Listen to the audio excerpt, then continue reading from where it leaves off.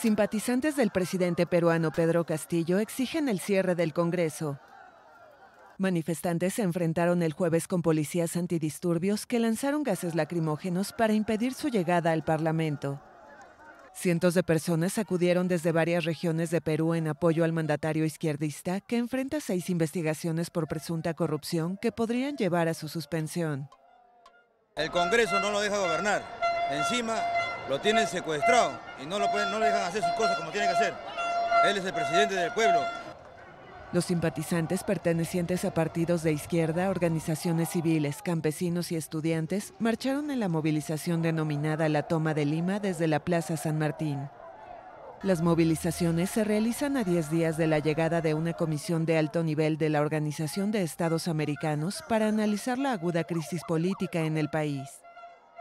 Este gobierno ha sido elegido no por las inversionistas, no por la gran empresa privada, esto lo ha elegido el pueblo, lo hemos luchado cada uno desde, desde los puntos donde trabajamos, desde, desde cada trinchera.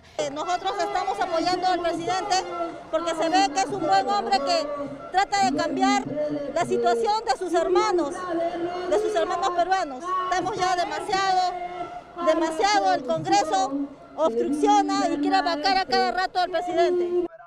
El sábado, miles de manifestantes marcharon por las calles de Lima al Congreso para reclamar la renuncia del presidente, quien niega que su familia haya cometido delitos y dice ser víctima de una campaña para sacarlo del poder.